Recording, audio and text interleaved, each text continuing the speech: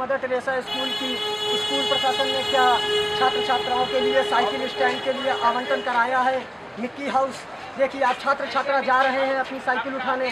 प्रत्येक बच्चे से भैया मिक्की हाउस का जो मिक्की हाउस के अंदर जो मदर टेरेसा स्कूल का साइकिल स्टैंड चल रहा है इसकी भी खबर चली थी और इसमें राजू शुक्ला जी से पूछा गया था, जोनल प्रभारी जी से, कि इसमें क्या कार्रवाई की जाएगी। उसमें भी अभी तक राजू शुक्ला जी ने कोई कार्रवाई नहीं करी गई और अभी तक साइकिल स्टैंड उसमें चल रहा है।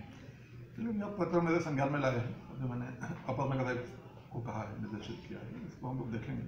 कहीं भी किसी भी रूप में अवैध किसी भी संस्था के द्वारा स्टैंड चलाया जा रहा होगा तो उसको बंद कराएँगे और उस पर कार्रवाई करेंगे। और जबकि मदर टेरेसा स्कूल के बच्चों का आठ सौ रुपये नौ सौ रुपये प्रत्येक बच्चों से लिया जाता है मिक्की हाउस के अंदर?